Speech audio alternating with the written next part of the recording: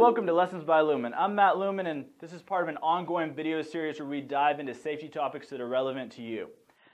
I don't know what could be more relevant this time of year than heat stress.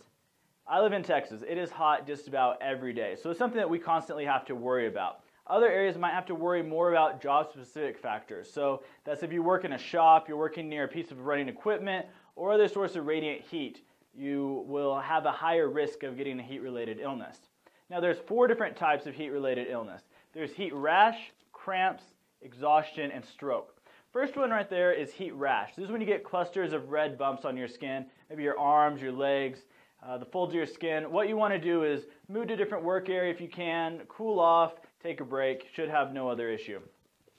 Second one is heat cramps. Now this is when you start to lose um, through sweating some of your salts. So you, your, your body starts to cramp up. You might get in your legs, your abdomen, your back, and what you want to do is replace those electrolytes. So you want to drink water, replace electrolytes, and take a break. Next one, heat exhaustion. This is when your body is trying to regulate its temperature, but is having a hard time doing so.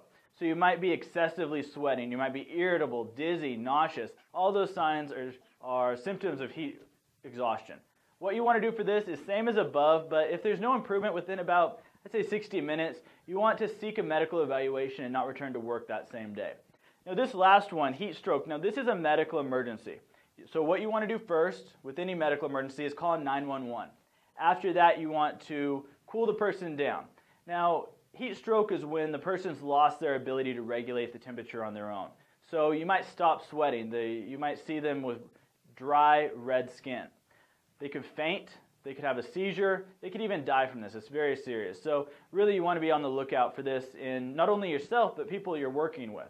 Now to do this, OSHA has a tool called the Heat Safety app and you could download this on your phone and what it does is it goes into signs symptoms what to do what to look for and it also gives you a heat index of the area that you're at so that you know what to do here's what it looks like this app creates a heat index based on the temperature and the humidity it gives you your risk level of the location that you're at or a location that you set with the risk, it tells you the precautions to take, the signs and symptoms, and more details on what to do.